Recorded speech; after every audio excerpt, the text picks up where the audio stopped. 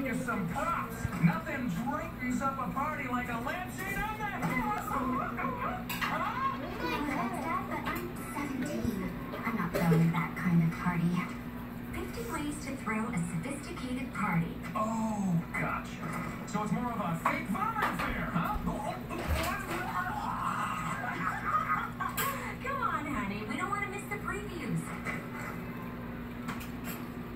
I'd be kicking myself if I didn't at least ask. Propeller baby? And I'm out.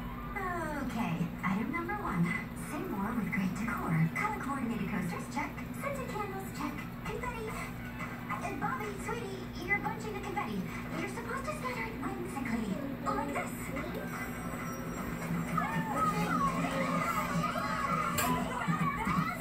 I've constructed a chocolate fountain. It started out as a nuclear fusion device, but I accidentally dropped my chocolate bar in it. And I've been working on my party tricks all week. What the? Sorry, we're not doing any of that. This is going to be a sophisticated party. Boring. Well, I'm glad you feel that way. Maybe they're not invited. It's just for the older kids. Yeah, sorry guys. It's just for us. Oh, Lincoln, put your pants back on. You're not invited either. Just Leni and Luna. What? Oh,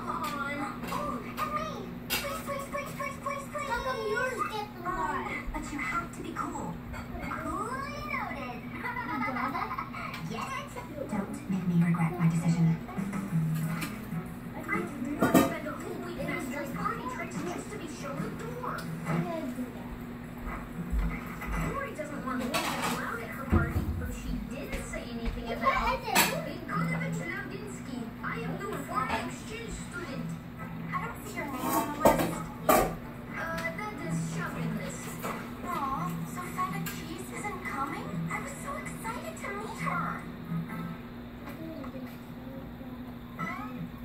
Party's pretty sweet, babe. Thanks, Boo Boo Bear. Now for item eight. Make your party all that with some sparkling chit chat.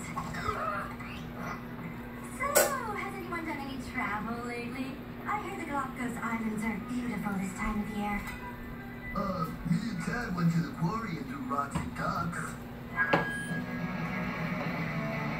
Hey, guys! Did you check out the origami station?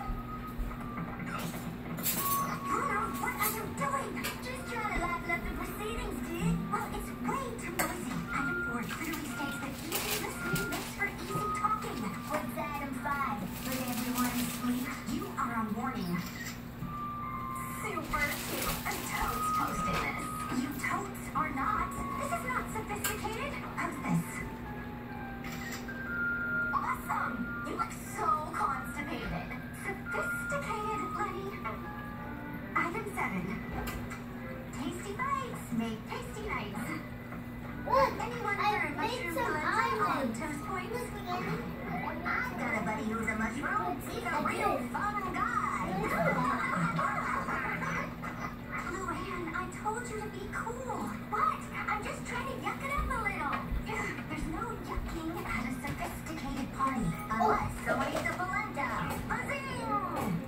you